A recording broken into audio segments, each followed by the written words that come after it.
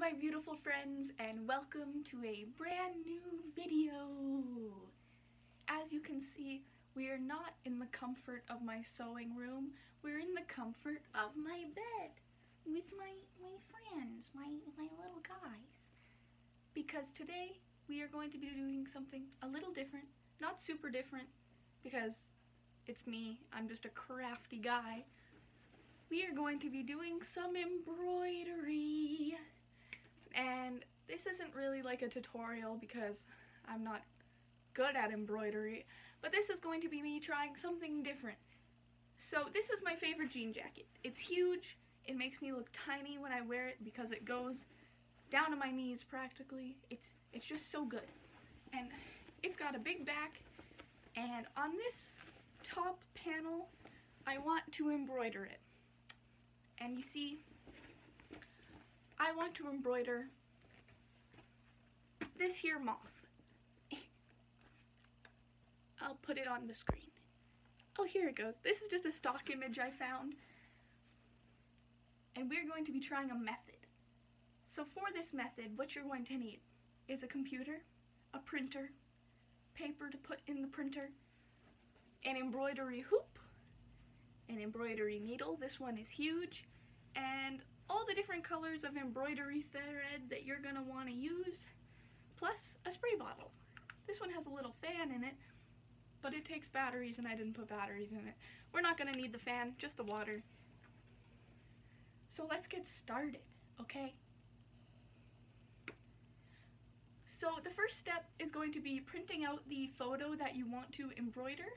Um, if you're new, I would eh, like suggest something that isn't like super detailed. Like, don't do a self-portrait for your first try. I mean, you could. I believe in you. But I'm not gonna. I'm gonna embroider this funky looking moth. So first, I'm going to print that out, and I'm gonna print it, like, big. But not super big. Big, though. So that it, like, I can...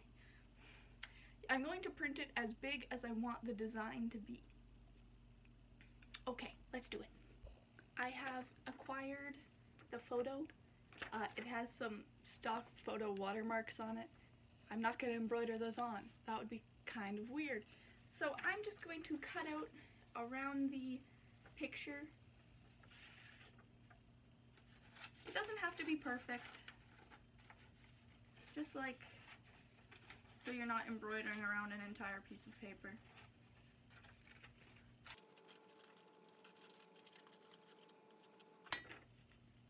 Perfect. Ah, I'm a mess. And I'm going to put the embroidery hoop, wait.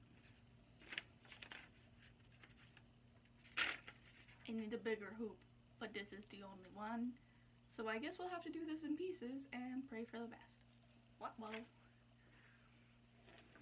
So I'm doing it on this back bit. So I'm going to center the embroidery hoop on here where I want it. I'm going to do it laying it down for security. Okay, I've got the little hoop on. You just sandwich it, the, the piece. And what I'm going to do is I'm going to pin this pattern on. Seems about right. And yeah, gotta pin it on. Um, for some reason I don't have pins in here, so I'm going to safety pin it on because I'm lazy. I might regret this later. I have adequately pinned it on for the first bit, and what I'm going to do is I'm just going to go ahead and I'm going to pick a base color. I think I'm going to use yellow because I've just got a whole bunch of it. And I am going to thread this needle, which Okay, so I saw that you should use like, oh gosh, the length of like from your arm to your elbow. So let's start with that, see what happens. Snip. And I'm going to tie a nice secure double knot because apparently you're not supposed to do it normally while like folding it in half because it's too thick or whatever. This is just me sassing embroidery. Sassing embroidery for 10 minutes straight. That's what this video is going to be called. Okay. And then we're going to thread this giant needle. Look at this. This is huge.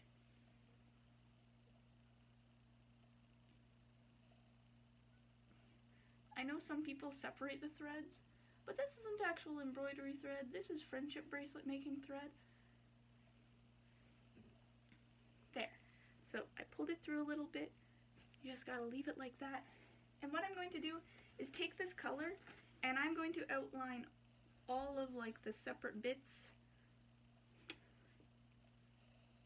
Does that make sense? I'm going to like go around the antenna, go around the head, go around all the details that I'm going to do in different colors.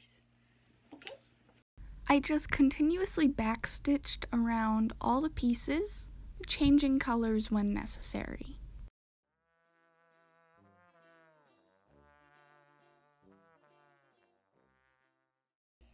Have made it like three quarters of the way around the body of the moth and I'm running very low on embroidery thread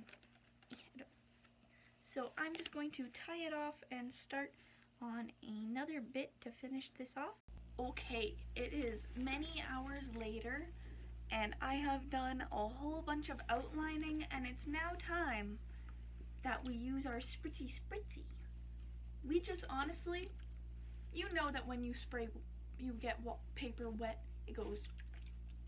So you want to get this paper wet so that you can tear it off without tearing out any stitches. Yeah, don't spray your computer. So I'm just going to spritz that a little bit, let it soak. I missed some. And then you're just able to tear off the chunks. There will be pieces that are caught under thread that you're going to have to gently like pull out. But that's life. Might I recommend doing this over a garbage so you don't build a hamster home in your bed? Regardless of the hamster home, I have the outline all, you know, like free. so after this, uh, I'm gonna take a walk because I've been sitting in my bed like this, stitching, and when we return, we can start on filling this in. This is where things are gonna get very time consuming. We got our hoop on, we're double cheeked up on a Thursday afternoon, um, and we're just gonna fill it in. I'm gonna go color by color. You could go section by section. I'm starting with white because honestly I just want to fill in the eyes and the skull just because I'm very excited about those parts. And we'll see where we go. I didn't have much rhyme or reason to the way I was filling it in. I just stitched back and forth, making sure that it didn't look ugly. Multiple days later, and here we are. Oh gosh. I will put in some photos. Okay. Um, for my first time embroidering, I'm just honestly really proud of this. Like, honestly, I can't really complain that much. It's just so pretty. I think every time I show someone how big it is, they're like, wow, I thought it was a lot smaller. Like, it big, okay? I just need you to know that. I saw that um, you can set this, like, make sure it, like, stays longer and you can put it through the wash by ironing the, the, the wrong side of it down. I, mine looks like a mess because I'm a mess of a person, but I'm gonna iron that down to, like, set it. But yeah, other than that, we're done. So, try this because I know you're at home because we're in a pandemonium. And yeah, my next video will probably be sewing related. This was just something else. I'll see you in the next one.